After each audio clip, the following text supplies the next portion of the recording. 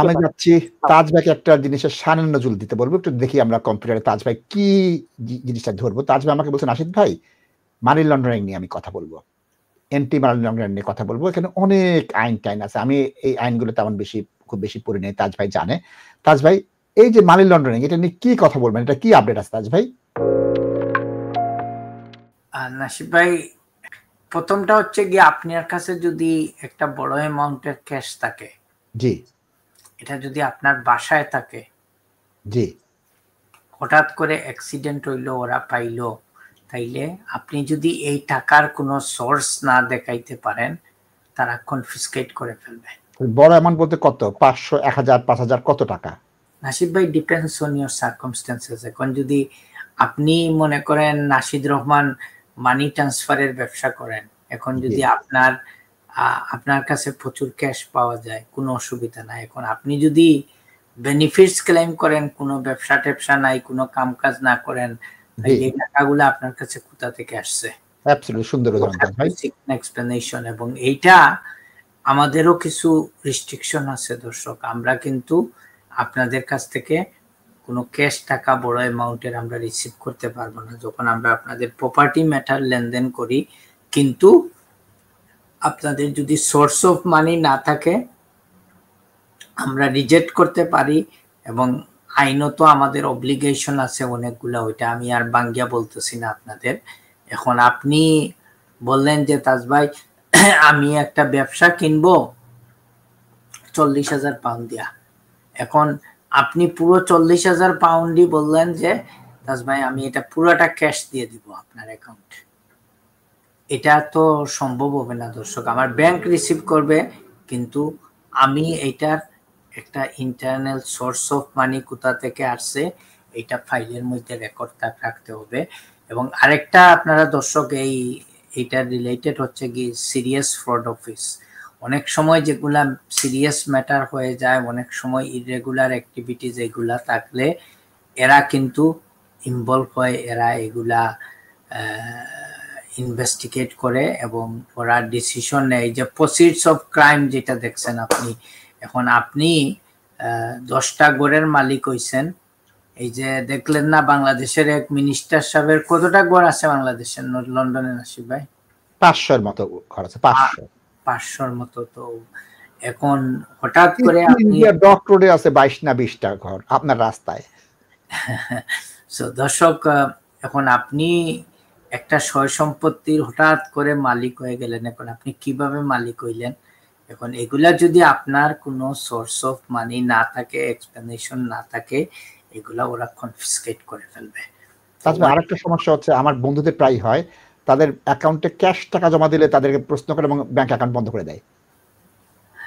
নাসিব ভাই কোনো এক্সপ্লেনেশন দেয় না এবং টাকা নিতে পুলিশের কাছে নিয়ে আসে টাকা।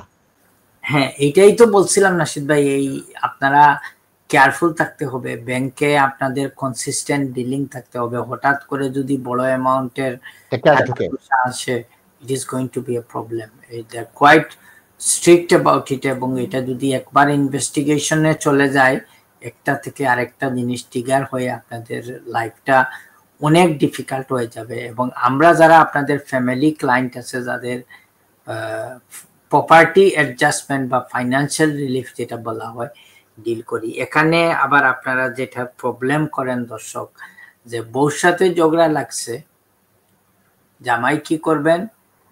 অন্য অন্য ফ্যামিলি মেম্বারের নামে সয় সম্পত্তি দিয়ে দিবেন বা অনেক সময় উনি বিক্রি করে দিবেন একজন থার্ড পার্টির কাছে। আসলে ওইটা কোনো রিয়েল বিক্রি না, ওইটার জন্য কোনো টাকা পয়সার লেনদেন হয় না নাসিব ভাই।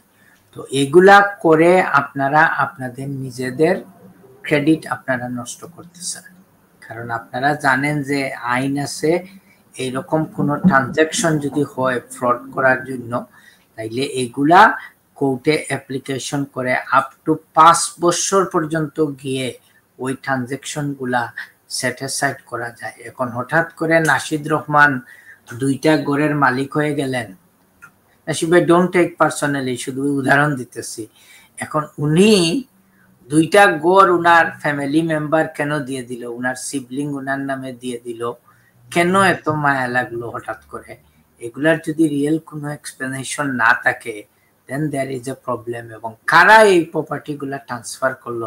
এখন গরিব মানুষ যদি থাকে নাসিদ রহমানের একজন সিবলিং উনার ভাই আছেন একটা ভালো জব করেন এবং উনার ফ্যামিলি আছে, এখন উনার হঠাৎ করে উনার নিজের ফ্যামিলি নিজের এন্ট্রি করে থাকেন কিন্তু উনি পাঁচশো হাজার পাউন্ডের গড় নাসিদ রহমানকে দিয়ে দিলেন। এই হোল জিনিসটাই তো সাসপিসিয়াস এই একটা ট্রানজেকশনের কারণে নাসিদ ভাই আপনি কিন্তু আপনার সব credit you lost in the eyes of the জাজ এবং আপনার পুরো জিনিসটা এফেক্টেড করে এবং এই জিনিসগুলা বেশি আপনারা করেন আপনাদের অ্যাকাউন্টেন্ট সাহেবদের পরামর্শ নিয়ে, কিন্তু they are not legally qualified people ওনারা অন্য ম্যাটারে ডিল করতে পারবে বাট এইসব ট্রানজ্যাকশন করবেন কি না আপনারা একজন আইনজীবীর সাথে ডিপলি কনসাল্ট করবেন সিচুয়েশন এক্সপ্লেন করবেন, এবং then they can guide you whether or not you should take such steps.